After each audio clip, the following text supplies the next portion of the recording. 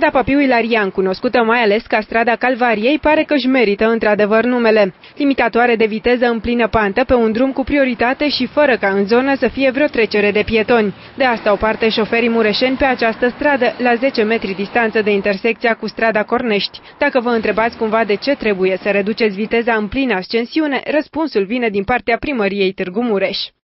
Decizia montării acestor uh, denivelări artificiale a fost luată uh, de către Serviciul Rutier din cadrul uh, Primăriei Municipiului Târgu Mureș împreună cu Poliția Comunitară și Poliția Rutieră. S-a luat decizia pe baza mai multor solicitări venite din partea conducătorilor auto care aveau cu greu acces în timpul orelor de vârf în una din zonele ba platoul Corneș sau celelalte străzi din zonă. În momentul în care o echipă a știrilor TTM s-a deplasat la fața locului, nu era trafic intens pe acea arteră, însă limitatoarele și-au demonstrat inutilitatea în intersecție, deoarece accesul dinspre strada Corneș se face datorită bunăvoinței altor șoferi. Mașinile care vin una, două, trei, patru și probabil multe altele ar mai fi trecut până să intre în intersecție dacă cea de-a cincea mașină nu ar fi virat dreapta.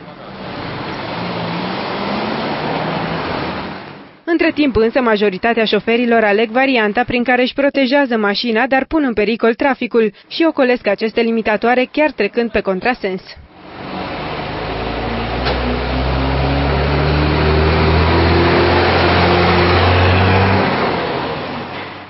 De la primărie am aflat că dacă există nemulțumiri din partea participanților la trafic, șoferii se pot adresa în scris biroului rutier din cadrul primăriei Târgu Mureș.